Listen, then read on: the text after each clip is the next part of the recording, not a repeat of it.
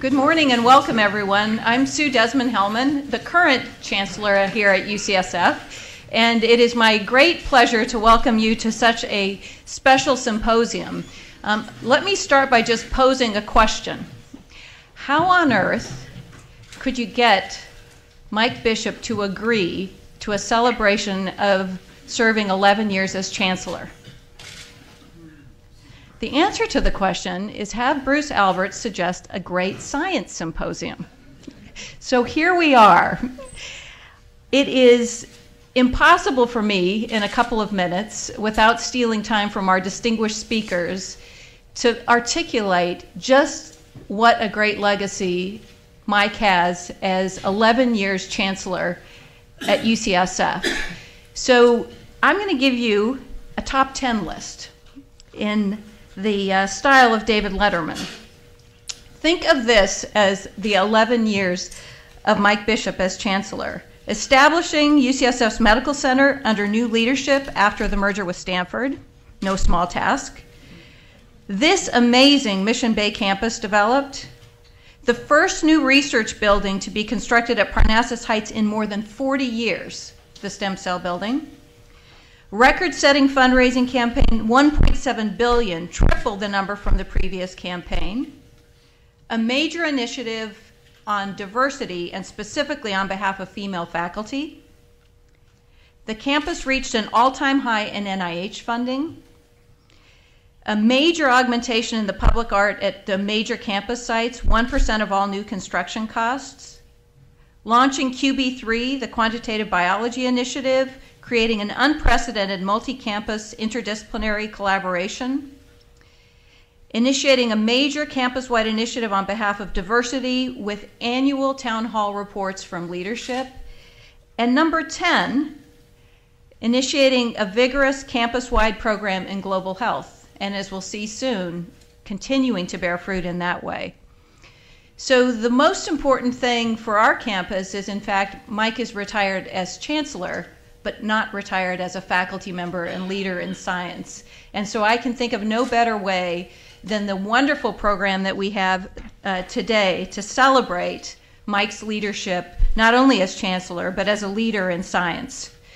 So, the theme of our symposium, Critical Unsolved Problems in Biomedicine, will allow us to explore several issues that were top among uh, Mike's priorities, both as a leader and a scientist at UCSF. In our session on cancer, we'll uh, ask the question how do we prevent metastasis? No small question. In neuroscience, we'll consider how the brain represents the outside world. And our session on cell biology will include an examination of how cells make decisions. So we have a great program, and so I'm not going to give a big speech.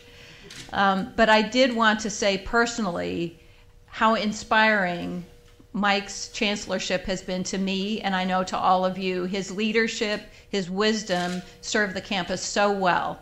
And so uh, I want to take a moment to pause and just to lend your applause and my thanks and congratulations to Mike on an absolutely fantastic 11 years.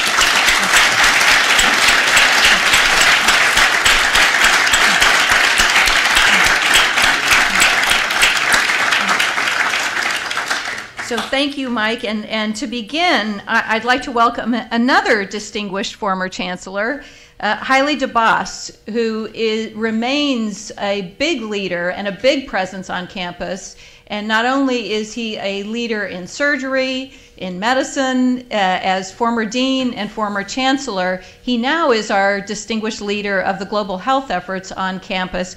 And, and he's somebody who I can always count on for a great hug which is, is really good news when you're the new chancellor. So thanks, Haile. Um, Haile's going to lead our introductory discussion of a fundamental global health issue that continues to elude us. Can we eradicate malaria? Haile.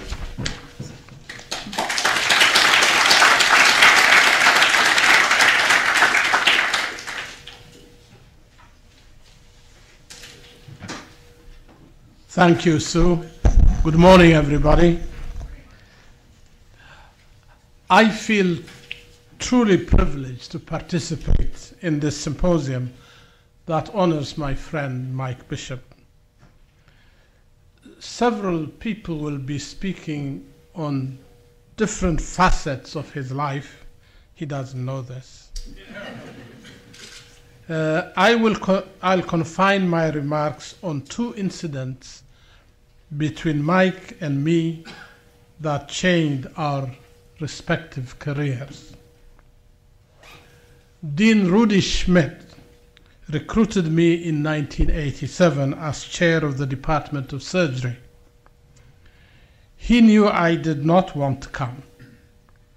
So he did a very curious thing. The guests for the first retirement, uh, for the first recruitment dinner, were not members of, of the surgery department or even of the gastroenterology uh, division. They were basic sciences, the likes of Mike Bishop, Bruce Alberts, Ira Herskowitz, Zach Hall, Henry Bourne, Keith Yamamoto, and so on. I, I, this was bewildering to me. But soon I was struck by how much they all enjoyed each other's company. I was struck by their wit and by how easily they accepted a surgeon into their company when the general perception is that surgeons think only from the elbow down. so it took me only a few minutes to overcome my anxiety and reticence. The evening was a great success. I was hooked and made up my mind to come to UCSF even before I met a single member of the Department of Surgery. So, Mike, you and your basic science colleagues had everything to do with my coming to UCSF. Ten years later, I decided to get even with him. I urged and pleaded with him to take the UCSF chancellorship. My argument was that because of the UCSF Stanford clinical merger that was completed a year earlier, he would no longer have to worry about running the hospital. In fact, the job of the chancellor is merely to be an academic leader. How wrong I was. The year after he became chancellor, the UCSF Stanford merger started to come apart, and a hospital, now bankrupt, fractured, and without any of its senior leadership, was thrown back on his lap. Here, Mike, see what you can do with this mess. At first, he did not know what hit him. But Mike is a quick study and rapidly developed, developed a working knowledge of the complex and vexed healthcare system, of hospital administration and hospital financing. In the absence of a medical, of medical center leadership, Mike had to run the hospital with the help of a consulting firm. But then he recruited one of the most talented hospital directors in the country, Mark Laret, and together they pulled us out of the clinical abyss. Mike, uh, UCSF owes you a tremendous debt of gratitude. Under your leader- leadership, the UCSF Medical Center not only recovered but went on to become one among the 10 best hospitals in the country and return to a strong financial performance. We have enjoyed 11 years of your visionary leadership. Even though you're a mere basic scientist, you managed to save the UCSF clinical enterprise. On your watch, the already stellar scientific achievement of the UCSF faculty grew even brighter. The Mission Bay campus will be your legacy. And you created UCSF Global Health Sciences. On a personal note, I hope you have forgiven me for persuading you to be the eighth UCSF Chancellor and for handing to you, for handing off to you a fractured medical center and the agony that accompanied the demerger. I'm privileged to be your friend, and over the 23 years I have been at UCSF, you have inspired me with your scholarship, your eloquence, your sense of history, of literature, and of the arts. Thank you very much, Mike.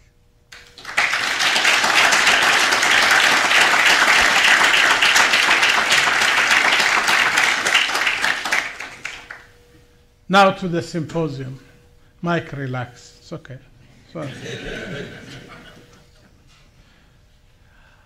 As the creator of UCSF Global Health Sciences, it's appropriate that Mike is honored by a session that discusses the critical unsolved problem in global health, namely the eradication of malaria. In 2008 alone, 250 million people uh, were afflicted with malaria, and 1 million children died from it. We remain without any highly effective vaccine, and the most powerful artemisinin based combination therapies, or ACTs, are threatened by the emergence of resistance at the Thai Cambodian border. What is of great concern is that we do not have a plan B. The race to develop vaccines, some designed to block transmission, continues, but as for now, we have all we have are incompletely effective vaccines. We are pleased this morning to have Dr. Christopher Plowe as our keynote speaker for this session. He is professor of medicine, epidemiology, microbiology, immunology, and immunology at the University of Maryland. He's chief of, of the malaria section. He's the Doris Duke Distinguished uh, Clinical Scientist and a Howard Hughes Medical Investigator. He is known for his work on malaria drug resistance, molecular epidemiology, molecular evolution, pathogenesis, HIV malaria interactions, and clinical trials on malaria drugs and vaccine. Ladies and gentlemen, please welcome Dr. Plowe. Chris.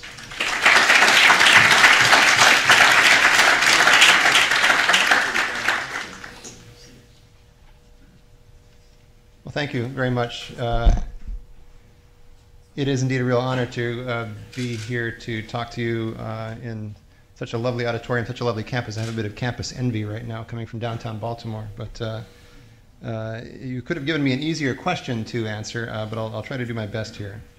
Um, so I've, I've, been asked to talk about whether or not we can eradicate malaria, and I'll just give you just a, a bit of background. Malaria, I hope most of you know, is a parasitic infection transmitted by mosquitoes and it passes relatively quickly without causing any problems uh, through your liver and it gets into your red blood cells. And what you can see here are uninfected cells and uh, an infected cell. And the parasite has just taken over the machinery of the cell. It's expressing its own cytoadherence proteins there. And these sticky parasites, in the case of Plasmodium falciparum, the, the worst of the human malarias, can stick in the brain and other tissues and, and cause swelling, you can see here, and hemorrhages. And this is a little child in Malawi who, uh, despite the wide open eyes, is in a deep coma from cerebral malaria. So it's, it's a bad disease. As you just heard, the numbers are big. Uh, those numbers, um, Dr. Debas just mentioned, add up to about 100 deaths an hour. Uh, and this is a child in the morgue at Queen Elizabeth Central Hospital who died of cerebral malaria uh, in Malawi. But it's a curable disease and it's preventable. This is a little child also in Malawi who uh, received chloroquine, this old drug that had failed in Africa, but once uh, it was taken out of Malawi, began to work again. And she perked up with uh, one dose of chloroquine overnight and uh, is playing with her, her doll there. Um, so it's, it's, a, it's a disease that uh, there's reason to be optimistic we can do something about. So before I go any further, I want to give a few definitions. Uh, we're, we're, talking about eradication, but um, for the last several decades, we've been thinking about malaria mainly in terms of control, which the World Health Organization defines as reduction of disease incidence and burden to the point where it's no longer a significant public health priority. Uh, elimination. There's a lot of work at UCSF uh, uh, thinking about and, and uh, planning for elimination means the interruption of transmission of the pathogen and a fall in disease to incidence of zero in a defined geographical area. So you can talk about eliminating malaria from a country or from a, a continent, for example. Eradication means interruption of the pathogen transmission worldwide. Global eradication goes together. If we're talking about eradication, we're talking about the, the whole world and a fall in disease, disease incidence to zero as a result of a, a concerted effort to achieve that. And then finally, extinction would be if, if there were no more malaria parasites anywhere in, in, in the world, in, in the freezer, in the lab, and so forth. So if the question were, can malaria be eliminated, that's an easy one. Yes, malaria certainly can be eliminated. It's been eliminated from the U.S. Uh, the, the CDC was originally created as an agency to try to uh, uh, control and, and, eliminate malaria from the U.S. And what you see here is the distribution of malaria in the U.S. in the late 1800s.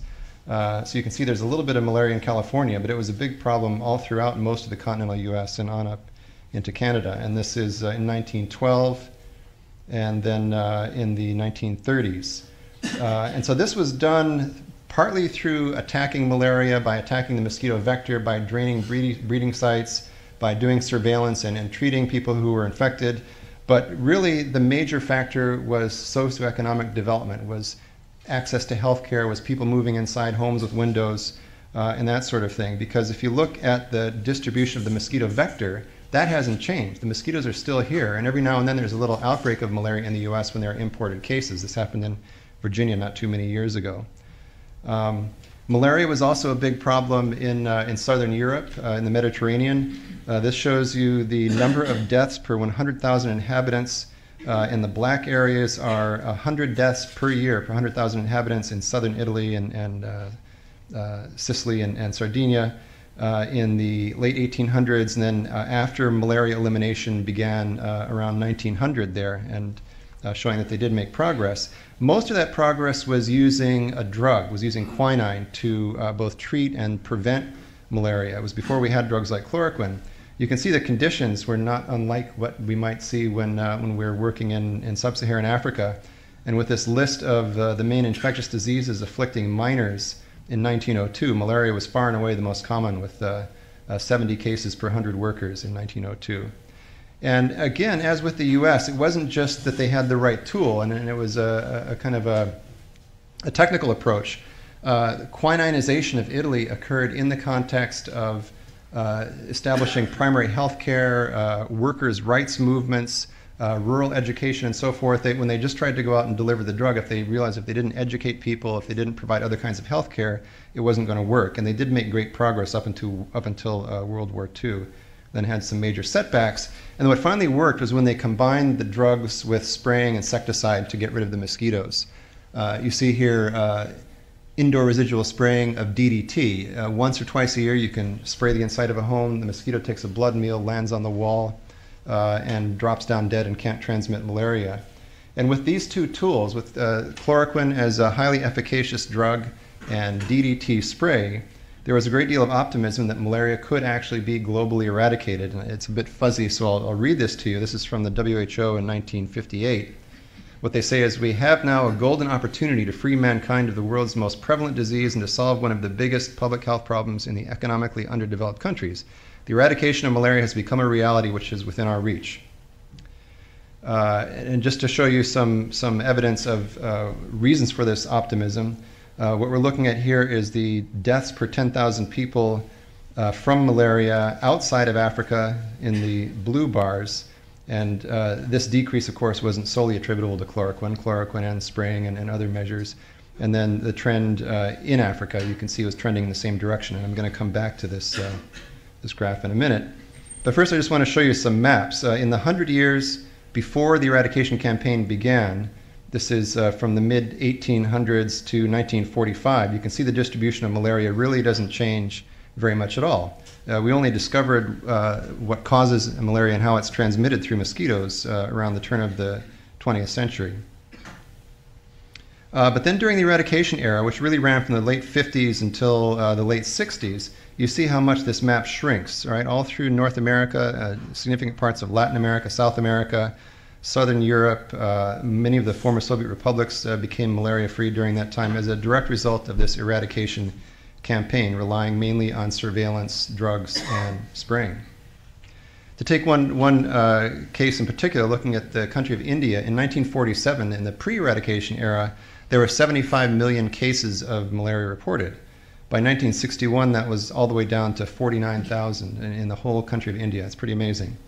Uh, but then something happened. A few years later, it was going back up, and then by 1976, it was back up to 6.5 million.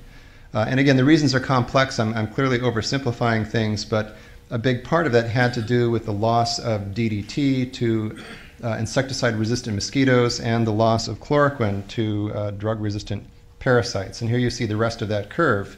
Uh, the chloroquine resistance arrived too late to really impact on things outside of Africa but it had a major impact in Africa. And that's this. There is a lot of evidence of uh, very proximate to the arrival of chloroquine in a country, uh, a dramatic increase in, in malaria deaths, uh, severe malaria hospitalizations, and so forth. So it had a, a huge impact on the continent of Africa. People became very discouraged. It was very hard to maintain the financing and the political will in the face of setbacks.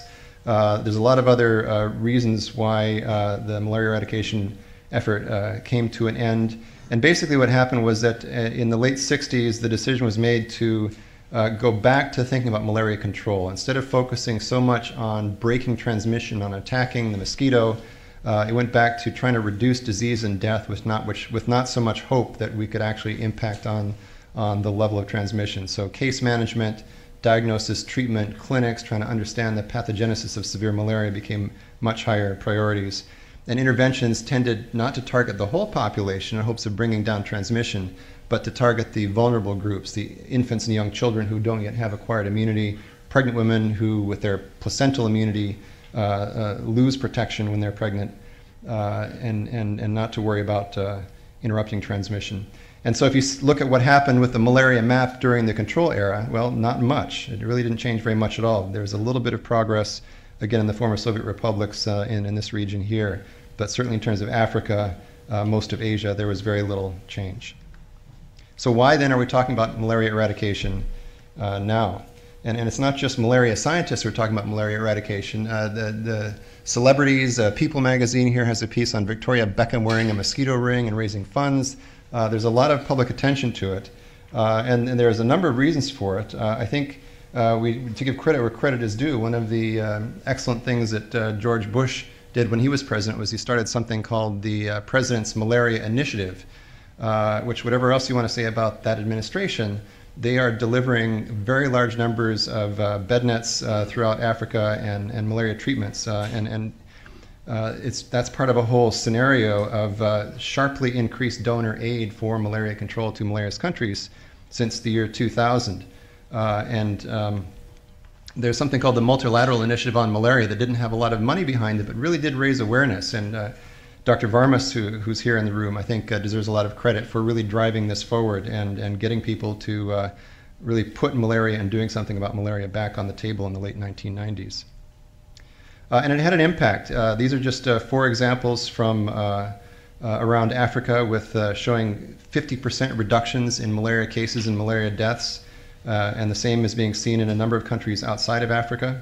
This is a slide I got from uh, Rob Newman, who heads the malaria program at uh, WHO. Uh, and, and the current successes are really built around a couple of tools. Uh, one is uh, bed nets that have a long lasting insecticide. You can keep using the net for as much as two or three years, and even if it gets a little tear in it, the mosquitoes are still killed and, and prevent, it prevents malaria transmission. You do need to do monitoring and evaluation to make sure the nets are being used and used correctly. This is a, a picture I took in Tanzania of a man using a net, a, a mosquito net for fishing. Um, and, and social marketing and, and uptake uh, has been an issue, and what works in one, in one setting doesn't necessarily work in another to get people to use these nets. The other major uh, tool we just heard about is the, the artemisinins. Uh, these are based on a Chinese herb uh, that has been used to treat everything from uh, fever to hemorrhoids for uh, 2,000 years uh, in China. And uh, then during the Vietnam War, when they had a problem with resistant, uh, chloroquine resistant malaria in the Ho Chi Minh Trail, the malariologists in China were spared from the Cultural Revolution and allowed to keep working on trying to identify compounds that could be better malaria drugs, and eventually isolated the, the compounds that are now the, the class of artemisinin drugs that we're using. And we use these in combination with other drugs, much like we do HIV and TB drugs, to uh, deter the emergence of resistance. And the so called ACTs, artemisinin based combination therapy, uh, is now the first line in almost every country in the world, and, and, they've been able to drive the price down. And a very nice feature of these drugs is that they do have uh, an action on the gametocyte forms of the parasite, the sexual forms that are transmitted through the mosquito. Uh, so they, they do appear to reduce transmission. So there's a lot of reason to be hopeful. So much so that uh, people have tried uh, reviving an idea that the WHO actually currently doesn't approve of and giving mass drug administration, treating everybody in the population both with an ACT and a drug that specifically targets these uh, gametocytes that are, that are transmitted, as well as uh, for Plasmodium vivax, has a, a, dormant form in the liver that this drug primaquine gets rid of. And you can see uh, it really drives down dramatically the malaria rates, uh, both for falciparum malaria, vivax malaria, as well as the uh, gametocytes. So, based on, on these kinds of uh, success stories, in 2007, Bill and Melinda Gates called for reconsideration of global malaria eradication. Uh, there was a fair amount of skepticism uh, at first, uh, but I think the, the malaria community has come around to the notion that, if nothing else, this is the right goal, that we shouldn't simply be ignoring transmission as we have been since around 1969. Uh, and so uh, Richard Feachem and the Malaria Elimination Group have done wonderful work uh, thinking through country by country uh, and region by region what it would take to eliminate malaria. This is a, a, map in their report showing areas that currently have no malaria transmission. The ones in blue are countries that are already embarking on or about to embark on malaria elimination. And, and the ones in red uh, are, are still in the control mode. Uh, and so you know, the idea is we can shrink the malaria map. As I said, elimination can be done and is being done. But when we, when we try to then think about eradication, if we look in the middle of that map and think about a place like the Democratic Republic of Congo, where there's chaos, there's war, there's no health system whatsoever, uh, we realize we have a tough job ahead of us. And I hope uh, Phil Rosenthal, when he speaks, will kind of touch on some of the challenges involved in, in moving this into the middle of the map. So to come back to my question, can malaria be eradicated? Uh, maybe I could say yes if poverty and strife are no longer uh, a problem and or if we have new and better tools that will work in the midst of poverty and strife. The tools we have, I don't think are going to work in the Democratic Republic of the Congo. Um, we have these anti-mosquito measures like indoor residual spraying and, and long-lasting nets. Uh, we have drugs that we can use. We can think about giving those in a, in a mass administration scheme. Uh, and typically we think of drugs to attack disease. Uh, we have vaccines in the pipeline, which I'll, I'll touch on uh, toward the end. Uh, which can be uh, used to target the infectious stages of the parasite, to try to reduce disease, and, and, also to block transmission. And then drugs we're increasingly thinking of in terms of their impact on transmission.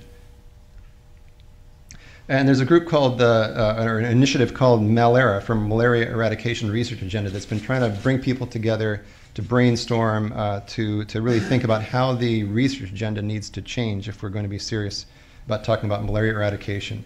So things like can we genetically modify mosquitoes uh, to make them refractory to malaria and then release them into the wild?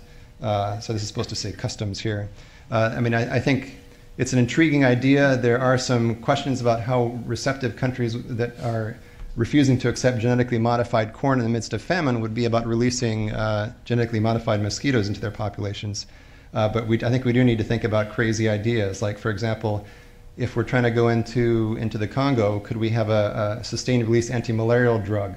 You know, we have we have drugs like Ambien where we can do that, and in fact, there there are uh, heartworm drugs for dogs that work for 12 months after a single injection. If we can do this for heartworm for dogs, couldn't we do it for malaria? And in fact, we have done it for malaria. Uh, David Clyde, who was at University of Maryland uh, years ago, uh, reported on injections of cycloguanil pamoate that prevented falciparum malaria for 383 days. Uh, he actually tested this in 15,000 people. Uh, it never really uh, took off because if you didn't inject it just so, you got an abscess in your, in your buttock, but it did prevent malaria. Um, so those are some thoughts about new tools, but I, I, need to come back and talk about a real threat to this whole discussion, which is the, uh, the concerning evidence of artemisinin resistance emerging on the Thai-Cambodian border. It was reported last year. Uh, this is uh, showing you parasite clearance time. You give the drug and you measure how long it takes the parasite to go away. And normally it should you should be parasite free by around 30 hours after you take uh, start taking an ACT treatment. Uh, on the Thai-Burmese border, that is now up to 50 or 60 hours.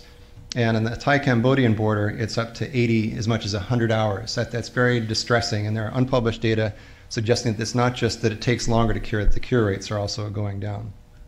Very worrisome. Especially when we look at the historical precedent of chloroquine resistance, which emerged in the same exact spot on the Thai-Cambodian border in the late 1950s and then spread globally, hitting Africa by the late 1970s. And, and these uh, summarize recently published data as well as data that was presented at a meeting I was at in Burma last fall. And we see the epicenter on, the Thai Cambodian border here. And among all the sentinel sites where the WHO is sponsoring uh, efficacy trials of ACTs, the ones closest to Cambodia were ones where the proportion of people who were still parasite uh, positive on day three after treatment was uh, uh higher were all the ones closest to Cambodia. So it needs to be confirmed, but it, it's deeply worrying that, um, uh, that, that we, we, may already have, uh, have let the, the, the, horse out of the barn. Um, the WHO is trying to coordinate containment efforts focusing in districts right in western Cambodia. And the problem is, part of the problem is that we're doing this now without really knowing the direction or the extent of spread because we don't really have good ways of measuring resistance. Um, the way we measure resistance for other drugs uh, includes very easy to use molecular markers, a single polymorphism in the parasite uh, that you can track and, and, measure the prevalence. And the Gates Foundation has supported the establishment of a worldwide anti malarial resistance network that uh, Grant Dorsey and, and, Phil Rosenthal, who are here, uh, were very instrumental in, in, establishing.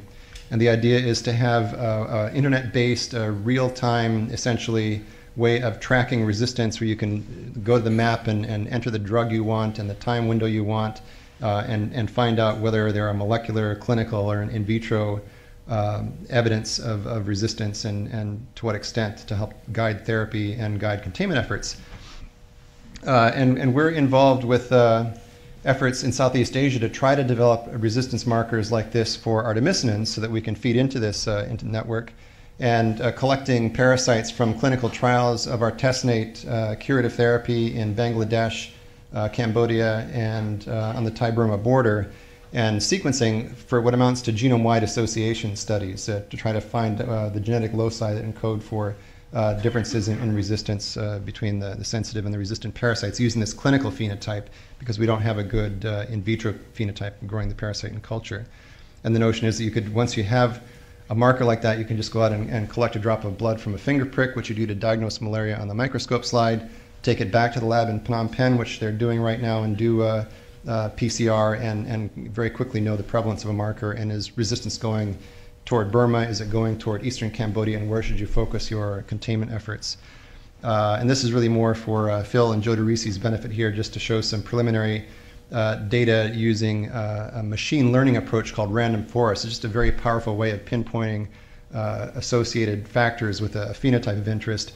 What we did is we took a, a 3,000 SNP chip, um, looking at, at, SNPs across the falciparum malaria genome, for which we had uh, from our collaborators in Chuansu at NIH measured the uh, the 50% inhibitory concentration of different drugs and blinded our collaborator who runs this method uh, to uh, which parasites were which. And he very rapidly pinpointed the known chloroquine resistance marker, the known pyrimethamine resistance marker, uh, based on these IC50s. And we've got a hypothetical protein that seemed to correlate with artemisinin IC50. And so we're hopeful that as we get the data from uh, Southeast Asia uh, into this pipeline, we'll be able to pinpoint uh, a marker relatively quickly. If we ask for discussion's sake, what has worked for other diseases that, uh, that have been uh, targeted for eradication? Uh, this is a slide from D.A. Henderson, who, who led the uh, smallpox eradication campaign, that, that, which is the one success story we have. And he points out, comparing what uh, failed, uh, what succeeded, and what has nearly succeeded in terms of eradication campaigns, the one thing that they all have in common, with the exception of guinea worm, where you just simply filter the, the worms out of the, the well water, was that the, in every case where we've had good success, vaccines were the principal tool. So that's why I want to end with talking about vaccines just for a minute. Uh, here, here we're seeing the life cycle of malaria. And vaccines can target uh, either the pre-erythrocytic forms in the liver to try to block infection completely. Uh, they can target the blood stages, which may not block uh, uh, transmission at all, but is meant to ameliorate disease and death. Or you can have transmission blocking vaccines. And historically, these two types of vaccines have been the real priority for the last many years because the idea was to prevent kids from dying of malaria. And increasingly now we're, we're thinking more about transmission blocking vaccines. Uh, the vaccine that's furthest along is called RTSS. It's in a large phase three trial for licensure in Africa, based on a number of trials showing that it gives in the range of 30 to 60 percent efficacy against clinical malaria. So the way I'd like to think about it, it's sort of an injectable bed net. It, it reduces your risk of clinical disease, but it, it doesn't completely prevent infection. And what's completely unknown right now is what impact does it have, if any, on transmission. Uh, so far, nobody has gone and looked, at least hasn't reported, looking at the gametocytes, the sexual forms that are transmitted on the blood smears. We know anybody who's grown parasites in culture knows if you stress the parasite, it goes in the direction to get into the mosquito. Uh, and it may well be that by giving a vaccine that you know kind of knocks it down but not out, you may be driving things to uh, even higher levels of transmission. We need to look at this. Um, a real constraint on developing vaccines is how polymorphic the vaccine antigens are. This is, of course, driven by host immunity. Here we're looking at one of the best antigens based on all kinds of serial epidemiological evidence uh, on protection in, in uh, non human primate models. It's highly polymorphic with over 60 polymorphisms uh, throughout the whole protein. It's a, it's a protein that's found up in the apical organelles uh, and it's involved with invasion, so antibodies against it block invasion. Uh, the, the team at NIH uh, made a bivalent, two, two different uh, versions of the, of the protein, uh, AMA1 vaccine, and took it into trials in Mali. And here we see the survival curve. There's just absolutely no difference uh, in the proportion who remained malaria free between the, the kids who got the malaria vaccine and the control vaccine. We don't know for sure what the reason for that failure is, but we think it's actually that the vaccine simply wasn't immunogenic enough. It didn't make very high antibody levels. It may not be the genetic diversity. Uh, at our sites in Mali, we've actually gone looking at how much diversity there is, something that wasn't done before uh, the antigen was put into a vaccine.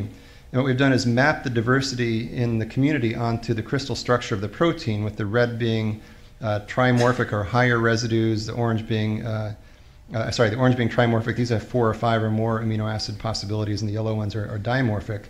Uh, and here's a hydrophobic pocket where the uh, the, is the site of, of, binding during invasion, and the kind of a hotspot is up here near that pocket. And the question we wanted to know was first of all, how diverse is this? And then, is a way of reducing the relevant diversity to begin to think about serotypes you could put into a vaccine. And so, sequencing over 500 infections, falciparum infections, from this one village in Mali where we're testing vaccines, we found over 214 all low frequency unique AMA1 haplotypes. And so the worst case scenario is we'd need a 214 valent vaccine to protect against all these different variants we've seen in a single Malian town.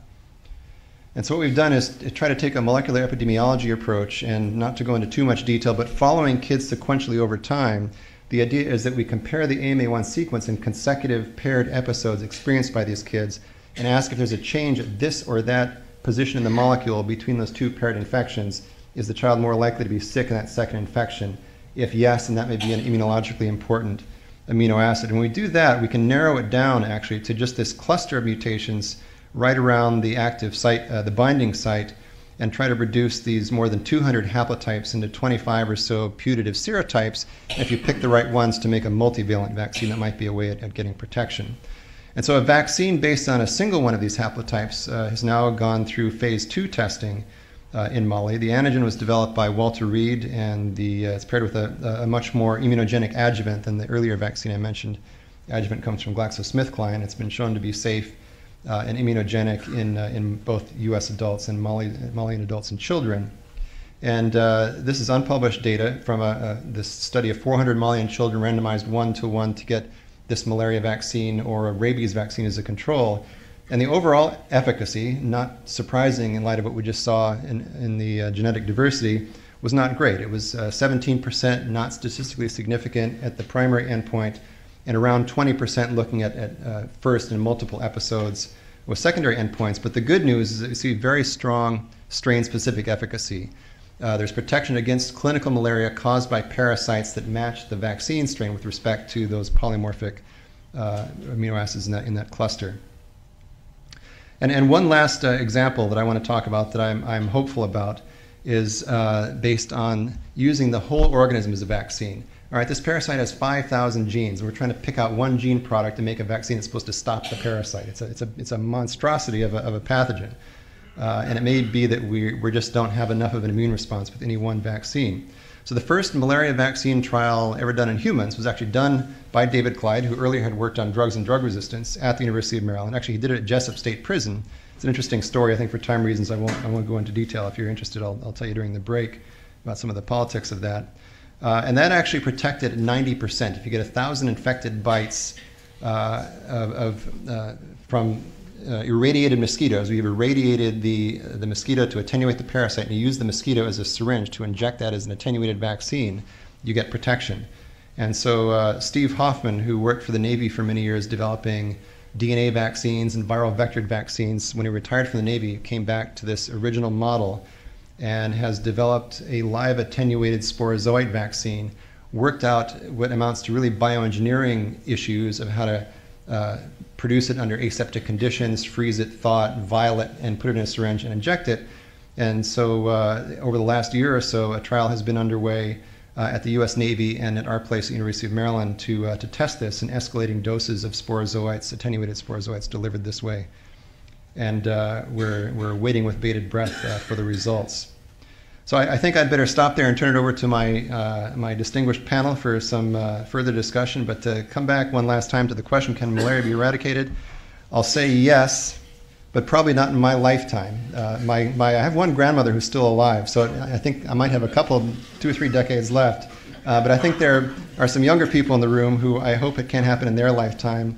And, and I think if you're a young scientist, you shouldn't let all this talk of malaria eradication dissuade you in any way from taking up malaria research, because I think it's going to be a, a, a growth area in research for, uh, for a long time to come, and really do need new talents uh, and new ideas and, and, tools.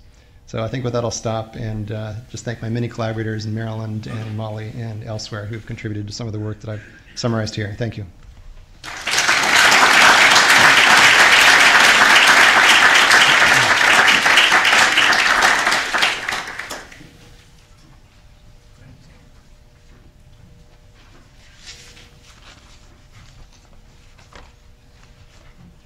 Thank you, Chris. I'll now ask uh, Joe DeRisi, Phil Rosenthal, and Richard Feacham to come to the podium. Or, or you can stay there and, yeah. You each, you each will have five minutes to give a talk and then you can sit. Joe DeRisi, introduce yourself. Uh, my name is Joe DeRisi. Uh, I'm a professor here in the Department of Biochemistry and Biophysics here at UCSF, and I'm very uh, privileged and honored to be able to be part of this panel today uh, for Mike Bishop's symposium. Uh, Mike has been instrumental in helping my career along here at UCSF, and I thank him for that. And it's just an amazing privilege to be here and work in the institution that Mike has served so well. Uh, so my lab works on uh, malaria and other infectious diseases. We work on a lot of uh, virology projects together with Dr. Don Ganem. And part of our, uh, I don't have any slides, so you can kill that thing if you want, um, rather than look at the uh, input RGB1. Uh, and so uh, I'd like to just talk about, just briefly, some issues that have come up and, um, and um, play off of some of Chris Plow's points that he made there are significant challenges ahead. So yes, we might be able to eradicate malaria, maybe not in our lifetime, or depends. But uh, there's some issues we need to deal with. First of all, we don't really understand how the parasite evades the host, and it clear, clearly does evade the host quite well. So our knowledge about how the parasite interacts with the human immune system while growing is still woefully thin. Uh, we don't understand how the parasite manipulates the host specifically. So, not just how the host can kill the parasite, but how the parasite responds in kind.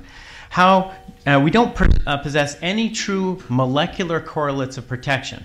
There's nothing we can measure right now, other than an endpoint, in a human that would be predictive of whether they would be resistant to challenge with a malaria infection. and that's pretty sad. We don't possess examples of broadly neutralizing antibodies. There's been fantastic work in HIV lately on uh, some structural work and other things on these amazing new broadly neutralizing antibodies. No such thing, to my knowledge, exists in malaria, and we do need it. We don't understand how uh, parasites resist the new drugs or the current drugs like artemisinin. We don't even understand the targets of what artemisinin is. We don't actually know what artemisinin is doing specifically to the parasite, which is uh, pretty amazing since all the new frontline drugs essentially are in the pipeline in one form or another use combinations with artemisinin or art, artemisinin derivatives. Uh, and I'll just say outright, if you're interested in getting into this, uh, malaria is a pain to grow. It's no fun. The genetics are awful. Uh, there is no RNAi. That's enough to make half the basic scientists run out of the room. Um, there are no known natural viral vectors for getting things in and out of the genome. Um, and, and, so that there's the other half can run out of the room. Um, but there's reasons, so uh, besides all that doomsday talk, there's reasons to be optimistic. Technology is really rapidly changing. Let's just put it in perspective here for a minute. So the uh, chloroquine resistance first appeared around 19, uh, the late 1950s, early 1960s, and it took about 40 years to figure out what the gene was. That there was a gene mutated that caused chloroquine resistance. That's the PFCRT gene. David Fiddock, Tom Wellams, and others. Uh, and so 40 years, that's kind of a long time. HIV uh, was first reports in New York, 1981 or so, and the identification of HIV uh, as etiologic agent for AIDS was um, 1984, 1985. So four to five years. So that's a much shorter time. Now let's take it to 2003 when the SARS outbreak occurred. Uh, Carlos Urbani first reported to the WHO uh, SARS as a distinct clinical entity in March 10th, March 10th, 2003. And on March 24th, 14 days later, we knew what the agent was. So going from an unknown acute respiratory disease to actually identification of the utilized agent uh, took only two weeks. And, and so the time scale of which things are allowed to occur is, is shrunk dramatically. And this extends to all aspects of basic biology too. Genome sequencing, the falciparum genome took you know, about a decade to sequence and to get done. And now a graduate student can do eight falciparum genomes in a couple weeks if they really try. Uh, so uh, that is a point that I'll, I'll, just hammer home a little bit um, more soundly. The cost of sequencing, of figuring out, and this is what's required, sequencing is required to figure out molecular changes in genomes and resistances and so on. This cost of sequencing in the past five years has dropped 100,000 fold. That's a big number. Nothing changes by 100,000 fold in biology, you know, in our technology these days uh, not, not in computers or anything. And so there's about a 100,000 fold increase in sequencing output as well. And so that's like going from Galileo's microscope 400 years ago to the Hubble in, in instead of taking 400 years in, uh, in four years. So we're in a time of dramatic technology changes. And this extends far past sequencing, proteomics, metabolomics, all sorts of things, uh, the ability to re-engineer uh, microbial systems to produce drugs like artemisinin, Jay Keasling's, uh, Amyris, and so on, uh, and our ability to understand the immune system. I think it's actually possible right now with technology that we have through deep sequencing, proteomics, and other technologies to understand and examine the entire repertoire of antibodies produced by a single individual with change of an infection. This so new era of I, I know you're going to cringe when I say this seromics um, uh, I had to say it, uh, it is going to change things because now we can actually examine how host adaptive immune responses are changing at, at a complete and quantitative level. And so, how can you bring it to bear? I mean, maybe what we need to do is identify, uh, similar to HIV, identify elite suppressors and figure out who's making those rare special antibodies that are broadly neutralizing, that target perhaps the rare protective epitopes and not just the highly polymorphic immunodominant antigens that we've grappled with so in a, such a difficult way over the last several decades. And of course, the goal there is 100% protection, um, not partial protection. And so, what will it take to figure out why artemisinin is failing? You've heard that artemisinin probably is failing. It, there's definite evidence of that. It's getting worse. And uh, can the world really afford to wait another 40 years to figure it out? Um, not really. It's like seeing, I, I, it's akin to this. It's like seeing the oil on the top of the Gulf of Mexico, but you don't know where BP sank their rig. That's about what the problem is right now. And it's kind of ridiculous that we don't know where the rig sank. Uh, and so there's no way you can cap the well. So I propose we need not much just more than technology, we need a new community spirit as well, akin to what uh, Chris was talking about with Warren and so on, and that uh, much like the SARS epidemic, uh, samples should be sent everywhere to everyone, including people that don't work on malaria, to rapidly figure this out. Instead of being controlled by a few with uh, waiting until publication comes out and so on, there should be real-time analysis of the actual data as well, and samples of clinically validated resistant malaria, serum from patients who survive or fail malaria should actually go to, to everyone. And this is how SARS was beaten quickly, and I think that we could do the same in malaria. And this includes field isolates and so on. So my point is, let's figure this out in weeks, not years, because really there's not a moment to lose.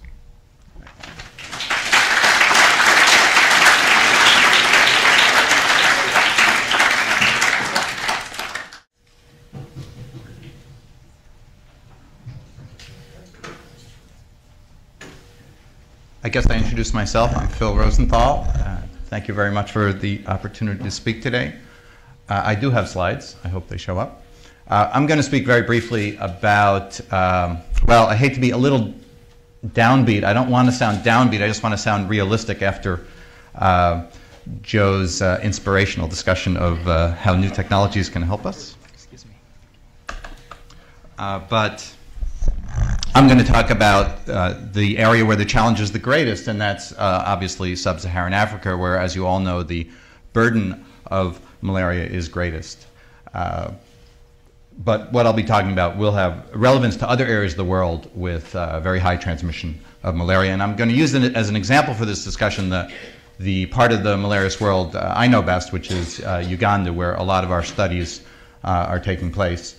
This map shows uh, levels of malaria transmission intensity across Uganda, ranging from the red areas with the highest level of transmission down to yellow and white areas uh, with low level, lower level transmission in uh, the mountainous areas of southwestern Uganda.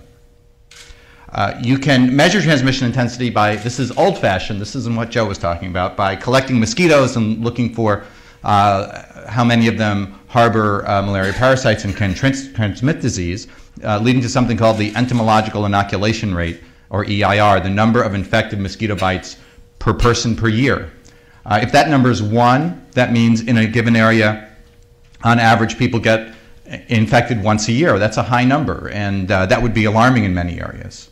But this is sub Saharan Africa, and the scale is different. So, in uh, a number of parts of uh, southern and central Uganda, you see EIRs of about 5 to 10. So people are infected about 5 or 10 times a year uh, with malarious parasites. So uh, that's a very alarming number. But then you move to central and northern Uganda, you see these astronomical numbers of uh, malaria transmission intensity. Hundreds of infected mosquito bites per year.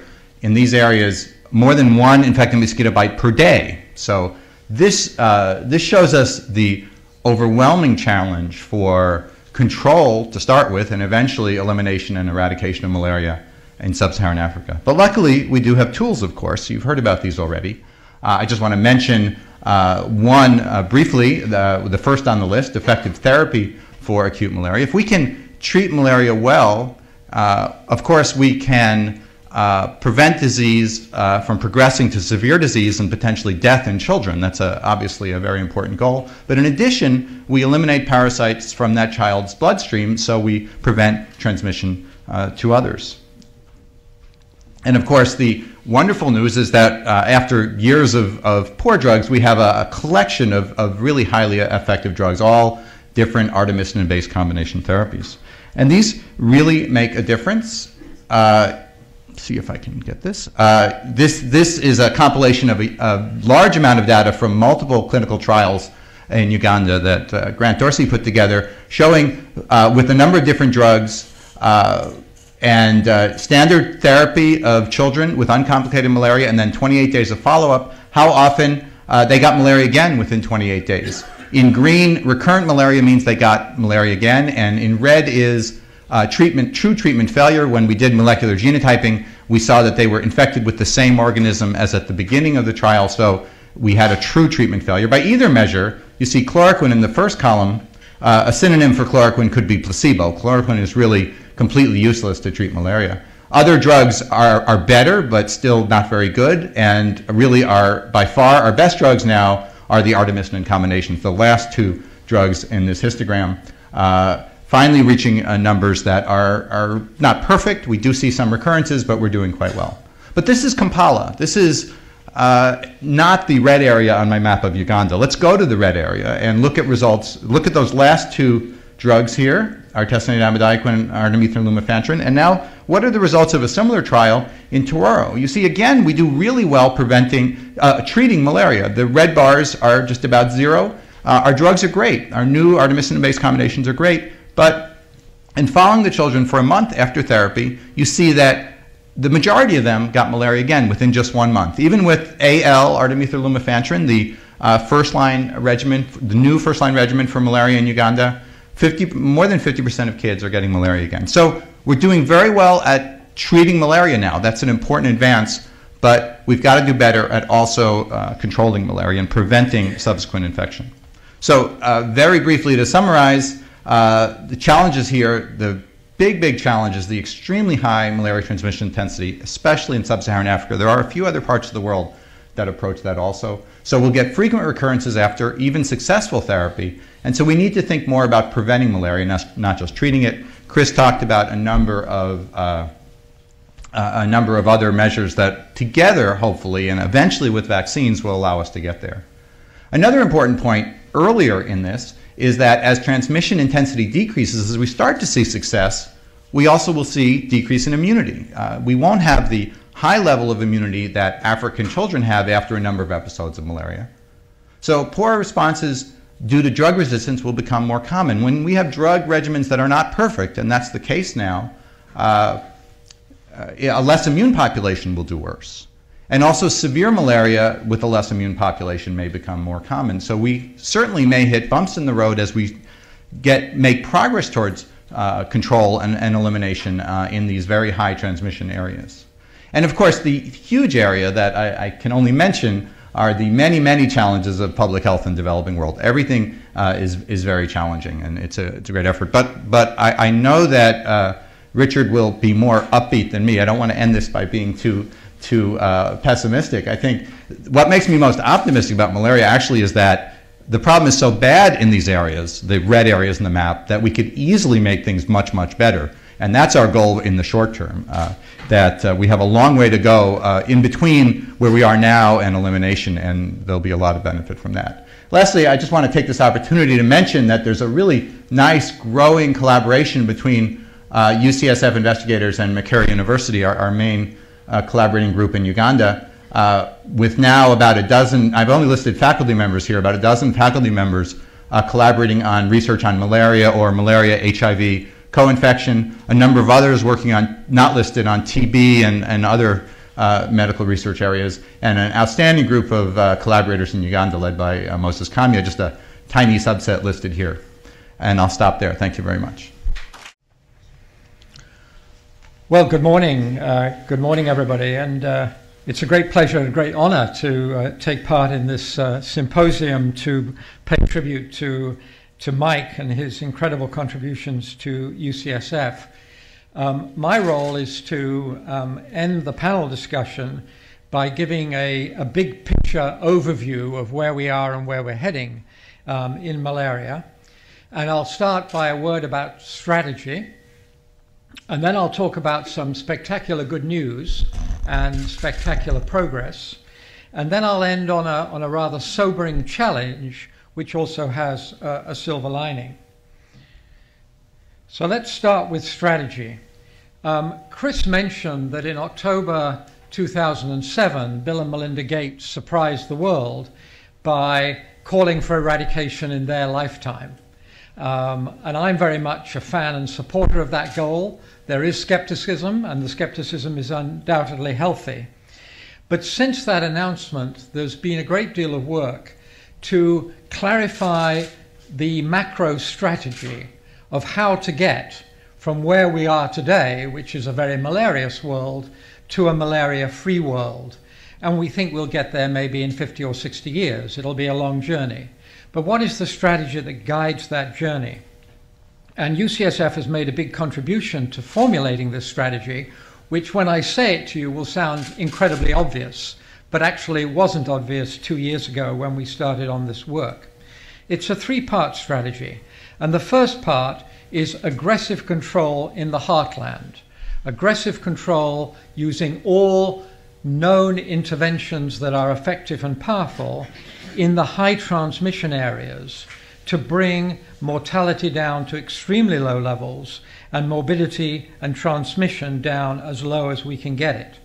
And of course, in doing that, we use today's tools today and tomorrow's tools tomorrow. And tomorrow's tools will be much better than today's tools because science is really driving it forward. The second part of the strategy is progressive spatial elimination from the endemic margins inwards. We call this shrinking the malaria map, so that the number of countries that have malaria at all continues to progressively decrease. And the third part of the big strategy is research, research, research, research, as Chris and, and my fellow panelists have emphasized, we need better drugs. We need that first vaccine, but it won't be very good. We need a second vaccine and a third vaccine and a fourth vaccine. We need them quickly. We need new insecticides. We haven't had a new insecticide for decades. Um, we need better diagnostics and so on. There is a very rich agenda for research to bring forward new and better tools. So that's the strategy. And we need to do all those things together and with great commitment. This is not do one, then do two, then do three. This is do all of those at the same time with energy and commitment and adequate finance. So let's have a little bit of history building on, on uh, Chris's presentation of the history of malaria. Let's look at malaria by country. And a red country is a country that has malaria endemicity somewhere within its borders and a green country is a country that doesn't. So green countries either never had malaria or have eliminated it. And if we go back to 1945, some of us were alive in 1945, maybe not many looking around the audience, but a few, but it isn't very long ago. And in round figures, there are 200 countries in the world, roughly speaking. And back in 1945, they all had malaria with very few exceptions. So we lived in a universally malarious world. Fast forward to today, and about 100 countries have got rid of it. So 200 countries in the world. Today, 100 countries, the green countries on this map, no longer have malaria. They have eliminated it. And as you will see, they're all at the margins of the endemic zone. So we have dramatically shrunk the malaria map in the last uh, 65 years. Um, the light blue countries on the map um, are countries that are in elimination mode today. And as you can see, they're all on the margins of the endemic zone. And the red countries are countries that are still um, in, uh, in control mode, but will become eliminators as the borders of malaria move to their borders. And roughly speaking, we're moving malaria southwards in the northern hemisphere and we're, we're moving malaria northwards in the southern hemisphere. And you can see the pattern of what that looks like. And UCSF has become very engaged in this elimination effort, particularly where you see the sunbursts on this map. Uh, so China, Melanesia, and southern Africa are the areas of particular focus. And we've also actually um, help to catalyze and help to um, organize and mobilize two exciting new regional initiatives. One of them, the Asia Pacific Malaria Elimination Initiative, which embraces 10 elimination countries in the Asia Pacific region. And that effort, effort is led by Dr. Michel Chang, who's with us this morning. And in Southern Africa, the initiative that we call the E8, the Elimination 8, which are the four eliminators where you see the sunburst and the four countries immediately to their north. And these regional uh, efforts are extremely important because malaria crosses, crosses borders a lot, not because of the mosquitoes, but because of humans carrying the parasite crossing borders. So these regional cross border efforts are very important. This work on elimination and reducing malaria in the red countries, uh, bringing down the morbidity and mortality rates in the red countries, really has gone spectacularly well. Partly because of the new technologies, which uh, Chris and others referred to, but partly because of the money. And since 2002 and the creation of the Global Fund to fight AIDS, TB, and malaria, the Global Fund has been investing billions of dollars per year in malaria, money which was not going into malaria before. And 60 70% of all uh, malaria finance now comes from the Global Fund alone. And it's these flows of funds which are driving this progress together with the new technologies and together with the incredible ded- dedication of the men and women on the front line who actually do the hard work every day. Optimism, here's some optimism. 2025, um, I think, with the efforts of all the younger scientists in this room and a lot of dedication by a lot of people around the world, I think the world is going to look like this in 2025. The green area has expanded a lot. We have many more green countries. And the red area has become this lurid, whatever that color is, um, not sure, but that lurid color, indicating that morbidity and mortality have been reduced greatly. So malaria has been squeezed but also the level of endemicity, the burden of morbidity and mortality have been greatly reduced, even in the heartland. And the process will continue to eradication, who knows when, 2050, 2060, no one can know. But it will depend, as um, Joe and Phil and Chris have emphasized, it will depend on new technologies. We will need better drugs. We will need a vaccine that is really efficacious, particularly a transmission blocking vaccine. We will need new insecticides. We will need better diagnostics. So this won't happen without the science. And the science is moving fast. So we can anticipate new tools. So that's the very optimistic story. But I want to end on, um, on a challenging note, um, which has to do with where the money is coming from. Because this is the marriage of science, programmatic effort in the field and the money to pay for it all. And the money to pay for it all has been primarily the Global Fund, which gets its money primarily from the rich country governments of the world. And those flows of fund are now very much in jeopardy because of the global financial crisis. So the wealthy countries of the world have mainly committed themselves not to let the global financial crisis interfere with their foreign assistance programs, with their aid programs. They have mainly said, the US government has said, most European governments have said, the global fi- financial crisis will not diminish our rising annual commitments of aid to the developing world, including our commitments for malaria, either through the Global Fund or bilaterally. And those promises are beginning to be broken and will be serially broken.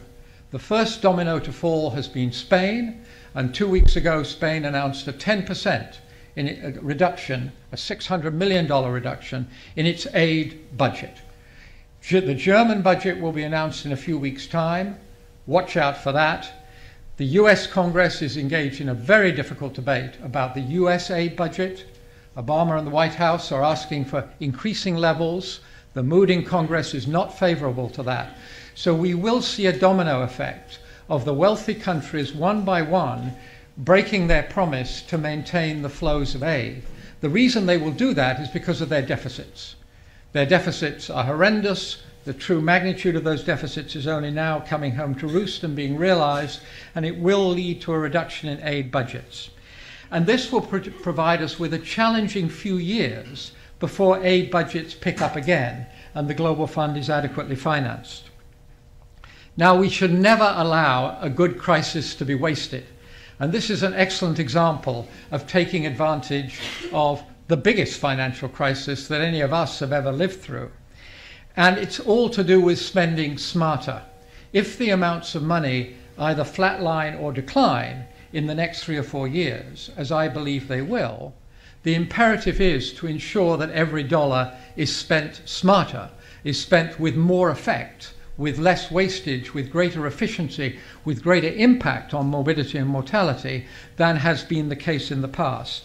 And I hope that UCSF can play a major role in ensuring that we do spend the reduced amounts of money smarter and end up in a better position in terms of our ability to really bear down on malaria when funds begin to pick up again in 2015 or beyond. Thank you very much.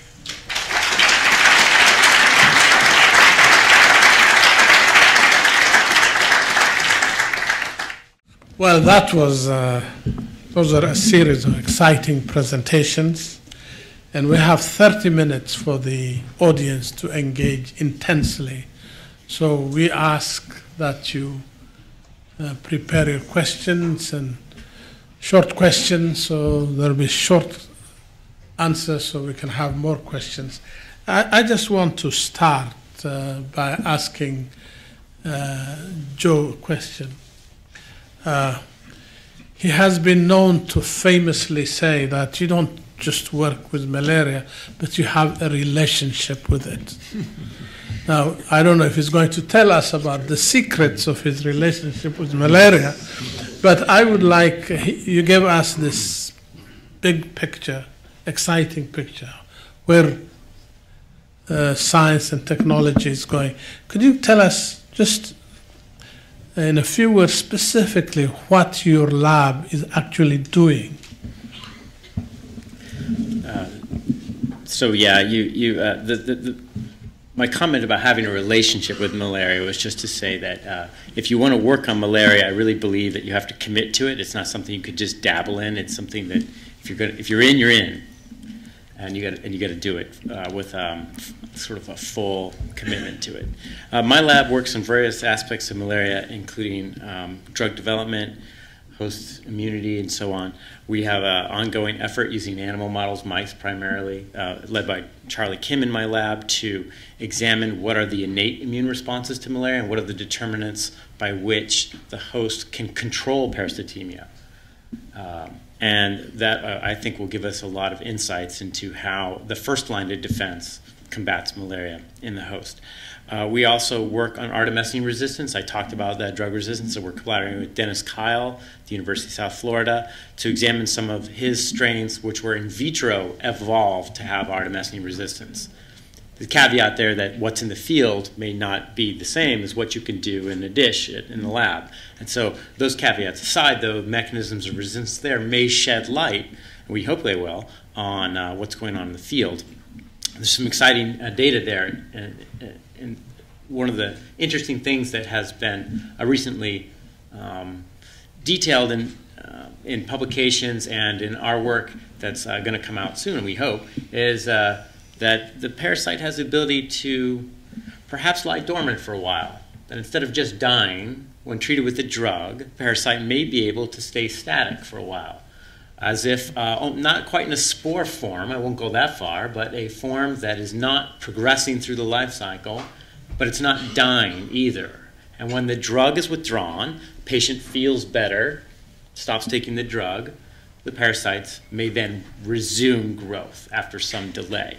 What is that checkpoint? What is that dormancy? What is going on at that point, and how can it be disrupted? That's where the combination therapies are most likely going to have best effect.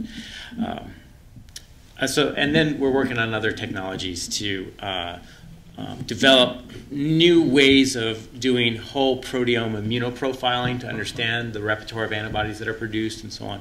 So we're trying to approach it from many different angles. It's a long-winded answer. Questions from the floor? Yes. Could you identify yourself?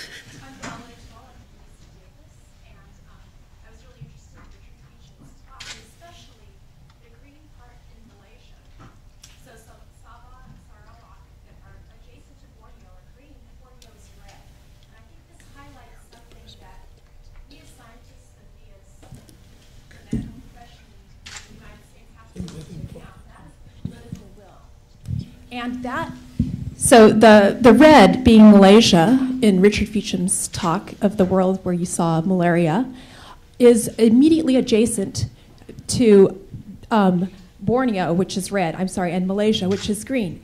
And the difference there is political will. We have a lot of really great um, uh, vaccines online, which should be great and should be invested in. However, now that we need to spend smarter, I think that you, we should really look hard at places that are adjacent geographically, the same Muslim background, the same practices, but different political will. And how can we turn the, those countries green that are red now um, with what we have? And I think that that is perhaps where we should focus a lot of our a lot of our energy is actually on providing incentive for that political will. Anyway, thank you very much. That was a good talk. Well, thank you. Uh, thank you for that comment. Um, and I think I agree, and we, we, we all agree. Um, in the case of Malaysia and Indonesia, um, on my 2010 map, um, Malaysia is that light blue color indicating it's eliminating. It still has malaria, but it's in elimination mode. And Indonesia is red, meaning that it's still in control mode. Um, interestingly, uh, Indonesia was invited to be a member of the Asia Pacific Malaria Elimination Network and is a member exactly because of those cross border issues and because Indonesia has made now a big political commitment to get serious about malaria and does indeed have elimination goals for Java ambitiously um, and for, for Bali and one or two other areas. But this cross border issue between Malaysia and Indonesia on the island of Borneo, uh, between Namibia and Angola, we're working on this on a daily basis, major cross border issues. And if you take that example, Namibia very committed.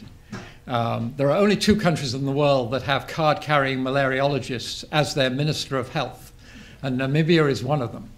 Um, and very committed to elimination. North of the border in Angola, chaotic and, and much less commitment.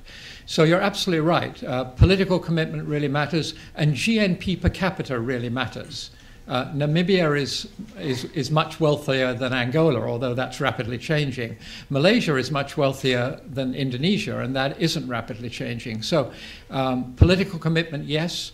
GNP per capita, um, less poverty, all these things are very germane. But your point is well taken. Thank you. Uh, I just wanted to make sure I called on students and young faculty before I called on Bruce. so, Bruce, you can ask a question. Or Harold. Harold. My hand, Bruce's face. Intro- introduce yourself. Harold Varmus, Memorial Sloan Kettering. Um, I uh, heard a lot about politics and plasmodia and something about vaccines, but not too much about the insects, about uh, Anopheles. And I wonder if um, a little more can be said by the panelists about uh, efforts to take use of our, make use of our growing understanding of the olfaction system of plasma of uh, of uh, Anopheles and uh, perhaps something about introduction of, of genetically altered species, especially sterile males, into uh, in, into highly malaria zones.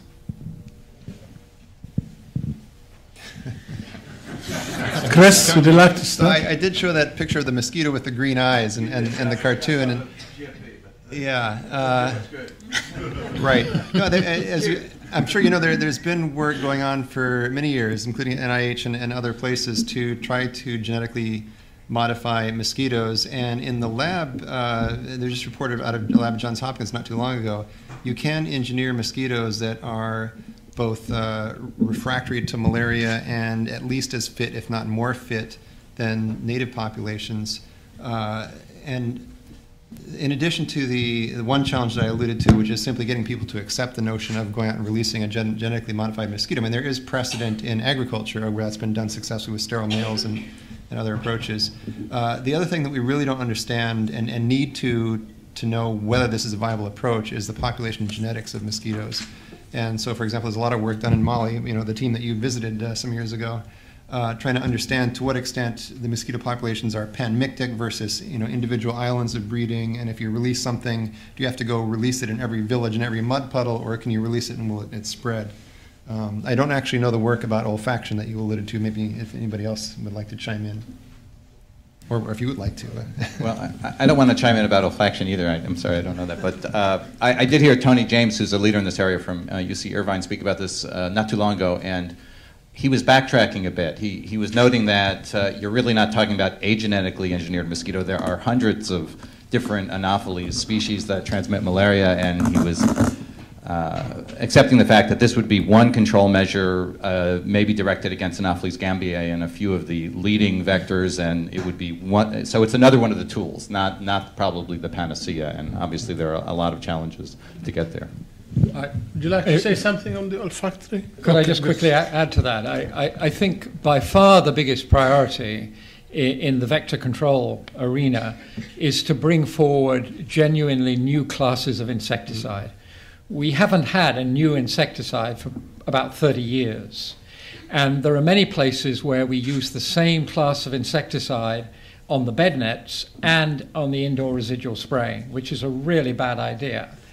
Um, we need new classes of insecticide, and we need to prevent the European Union and the United States banning agricultural imports from countries that use these insecticides. Just to comment briefly, since no one else is uh, interested in the other action issue. Um, there, are, there is work from Rockefeller and from, and from uh, Indiana on the nature of the, the olfactory receptors. And uh, there are, there, there's tremendous potential for developing uh, basically uh, chemicals that, that deter Anopheles from landing on human beings and, go, and going elsewhere. This is actually uh, reminiscent of a traditional medieval response of ringing villages with, with animals to try to attract uh, uh, insects that carry pathogens from entering, entering the villages. But uh, the deflection of, of Anopheles away from the human host, uh, I think, has a lot of promise now that we know some of the, the, molecular nature of the, of the olfactory receptors and have screens that allow us to, uh, to allow um, a lot of work supported by the Gates Foundation to, uh, to find deterrents to, um, to mosquito attack on certain hosts like, like humans. Yeah, I'll just make one last comment. That it's yeah, we need more than just citronella candles. You know, it's really cut it anymore. and, uh, and, and I think that um, destruction of the insects, or you know, by insecticides or deterrence, is really the way to go. I, I, I worry a little bit about the genetically engineered mosquitoes, not because I think we're going to get Frankenstein mosquitoes or anything, but they carry you know mosquitoes carry a lot more than just malaria, and a, a, a super fit mosquito kind of scares the hell out of me for other reasons. But how about one that is not fit that, impedes it? Uh, right. Yeah. So it's just sterile. I mean that the, the numbers are pretty. Um, pretty daunting about how many you would have to release in a given area. So it would require a pretty industrial effort, that's for sure. Could, could, I, could I, just ask uh, Bruce Alberts? Uh, the, Phil talked about this. I had no idea that uh, people were getting that many bites per, per day, and uh, uh, and then uh, there must be many people carrying quite effective antibodies or something, and and then Joe mentioned the fact that you know there should be some major concerted effort to collect the blood from these people and distribute it widely. Is that happening? Yeah, absolutely. It's been happening for decades, but our tools are getting better. Uh, it's clear that anti-malarial immunity is, in a way, very effective. Without that, humans would never have evolved out of Africa because falciparum malaria would have prevented uh, human uh, development. But on the other hand, uh, it comes at a great cost. It comes at the cost of multiple infections of young children, many of which are fatal, until you develop effective immunity. And uh, we could have said that 30 years ago. We haven't really learned that much. We, uh, there are probably a number of uh, false, uh, parasite antigens, which are immunologic smoke screens. They, they prevent a uh, more effective immune response. But we really don't understand it very well. We do have better tools in terms of better studies, better collections of Antisera from uh, cohort studies uh, around the world now, and we have better tools to study uh, immune responses. So hopefully that's an area where we can make good progress in the near future. And maybe Joe wants to talk more about the technical side of that. I might jump in if I could, uh, just to say that you know the malariologists haven't been sitting on their thumbs for the past 30 years. The immunologists haven't been. It's a really complicated relationship between the host and the parasite. So we have all these different surface antigens of the different life cycle stages And in the blood stage, there's a family of genes of, the, uh, of which there are about 60 different variants in the genome, and they're unbelievably polymorphic. And when I show you that picture of the infected cell and the little, the little dots on it, those are islands of these cytoadherence proteins and the parasite can shift among these uh, 50 or 60 different versions of it. So the minute you respond to one, you know, you're selecting for some other one that is now in a, in a minority subpopulation, and that grows up, and that may be sticky for a different organ. So until you acquire, the, the theory is until you acquire a repertoire of immunity to a whole range of antigens and a whole range of variants of some of these antigens, which are unbelievably variant, uh, you don't have protection. So uh, trying to sort out that story does require new tools but it's, it's been a long, a long road to hoe. Keith? Uh, Keith Yamamoto. I, I was um, uh, struck by, by uh, Joe's call to expand information and the field, get the information out into the rest of the world, um, and by Richard's uh, call to spend smart, which I think we're really going to need to pay attention to. And I'm wondering if you could comment, or on the panel could comment on ways uh, that this might be done. I, have been involved recently in some discussions of ways to support big scientific questions, different, different modes of support big scientific questions uh, on the cheap, so to speak.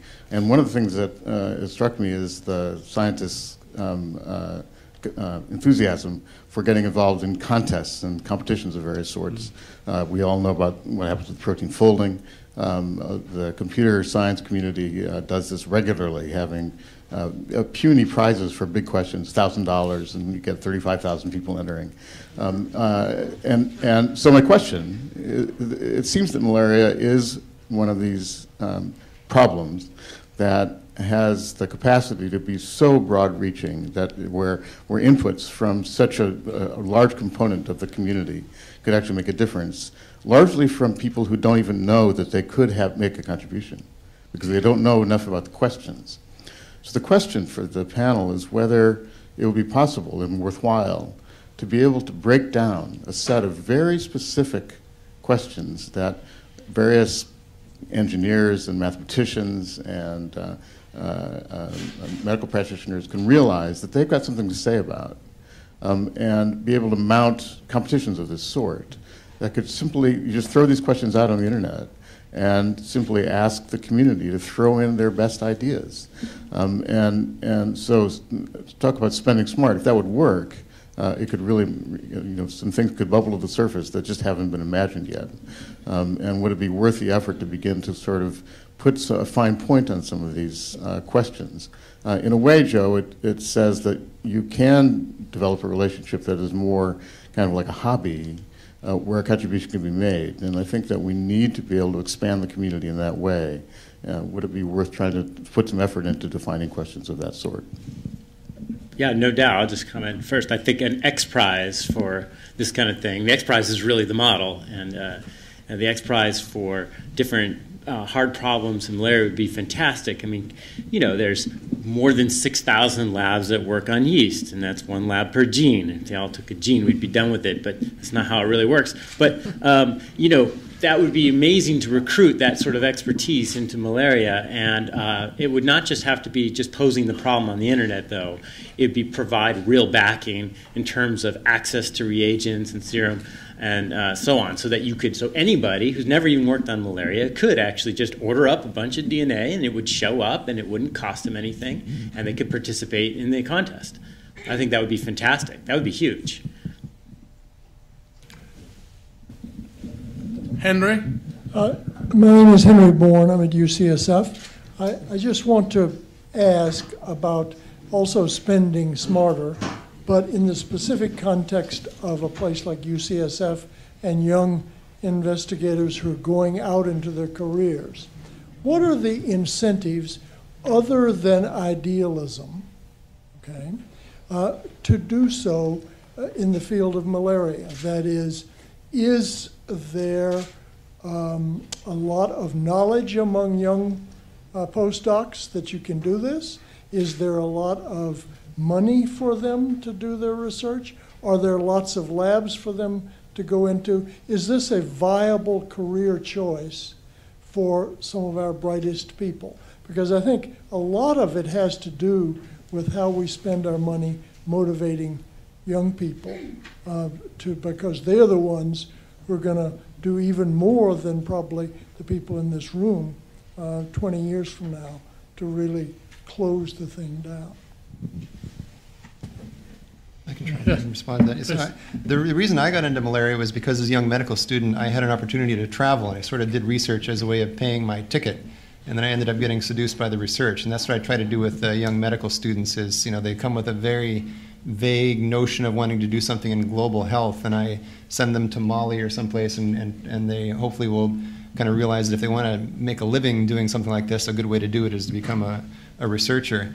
And in, in terms of the, uh, the kind of the, the market for malaria research, I have to say a certain former NIH director really changed the landscape in the 90s uh, with, I mentioned the Multilateral Initiative on Malaria, but also NIAID and the other institutes at NIH really increased the level of funding. The Wellcome Trust has done that. Uh, the Gates Foundation has come on the scene. So I, I think if you drew a graph of the dollars for malaria research, it's been a pretty steady upward trend. Uh, and we, we had this malaria process, the malaria, malaria eradication research agenda, had a, a Zenith week in March, and, and Richard and, and, Grant and some others were there, uh, where we came together with a, a, larger part of the malaria community to get buy in and, and kind of fine tune the ideas that had come out over a series of meetings over about a year and a half. And uh, on the last day, we had our uh, leadership council consisting of Tony Fauci, uh, Mark Walport, the head of the uh, Wellcome Trust, uh, Margaret Chan, the head of WHO, uh, Tachi Yamada, the head of uh, health for the Gates Foundation, and Awa Coll-Seck from Roll Back Malaria. And to a person, they all bought into the need uh, for uh, reorienting the malaria research agenda toward eradication and elimination. And there was no immediate concrete promise of new funds. Uh, but uh, certainly for the Gates Foundation, the implication was that, that uh, they're undergoing a, a, strategy discussion right now. Uh, and uh, so, if nothing else, um, I, I, I, predict that it's going to be robust, if, if not hugely growing over the next decades. I would, I would strongly agree with that. And I, I, so, my, my answer, like Chris's, to your question is, is yes. And I think there are some great examples, Michelle Shang and others in the audience, of how exciting these possibilities are. And I would just add that I think, particularly in the UCSF environment, it's a great opportunity um, for young scientists and investigators who want to bridge between laboratory science, the clinical dimension, the epidemiology, and the policy. I think there's fantastic opportunities for people with the uh, with the skills and aptitude to have a good knowledge of malaria from the molecule and the gene through to some of the major policy debates in southern Africa and to translate between those spheres and join those things together. I think it's a very rewarding, a very rewarding area. Over here and then next here. Carol Gross, UCSF. Uh, I just wonder if um, some of you could comment on what you think the a good balance would be between the specific disease eradication, TB, malaria, AIDS, and general public health measures? Well, the, um, if I understand the question right, um, we, we, we live in an era where we've, we've, we've just come through a decade of dramatic growth in investment in global health by the wealthy countries of the world. We've just come through a kind of golden age of investment in global health. And AIDS, TB, and malaria, the three foci of the Global Fund, have taken the lion's share of those investments. And there's much debate and controversy around whether that is the right balance. And the Obama administration inherited from the Bush administration a foreign assistance program which was a huge amount of HIV with some malaria bolted on the side and almost nothing else. And on, almost on day one, the Obama administration concluded that this was not a balanced portfolio in global health, and they're working hard to create a balanced portfolio in global health. So, maternal health, the health of the newborn, health systems, neglected tropical diseases, a variety of other subjects are rising in the agenda. And I think what we can expect is a more balance between AIDS, TB, and malaria and those other priority global health agendas. I think that's correct. The challenge is not to not to diminish the incredibly successful efforts in AIDS, TB, and malaria in order to fund these new and undoubtedly important other agendas. And doing that in the current financial climate is incredibly challenging. And it brings me back to this spending, spending smarter idea. Uh, I think it's really a very challenging issue. Yes. Uh, I'm, I'm Rich Losick. Henry Bourne's question touched on something that I uh, care a lot about, which I teach undergraduates at Harvard, and I sense a tremendous interest in the subject of global health. But, but this is an interest that we don't address uh, very well. M- most of our graduates go on to medical school or, God forbid, do nano trading on Wall Street. and, and, we have uh, a, a, terrific school of public health with uh, a lot of expertise. So, uh, at, um, Barry Bloom, our former dean, and I are trying to address this with uh, with a new course. But but if my what I sense at Harvard is true at other undergraduate institutions, I think there's fertile ground for recruiting young people in, into this intersection of, of science and policy and so forth. That's right. We just uh, completed a survey of North American universities. There are now 280 universities which have global health programs and some 80 of them are very well developed programs. And the interest and excitement in students, residents, postdoctoral fellows, and young faculty is, is unprecedented. We have to catch the crest of this wave. Yes, quite right. Yes. Hi, James Sabry, Genentech. Question for Joe about I was fascinated by this dormant state that you alluded to um, and I don't know how to really reconcile that with Phil's data on the fact that you don't get reinfection from the same parasite often after ACTs. Can you talk a little bit more about uh, the biology of that and, and, and how to reconcile that with the epidemiologic data?